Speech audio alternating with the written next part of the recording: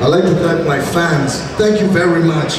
Most of you are backstage or behind the night. Thank you, thank you, thank you very much. Without you, I'll never be the J.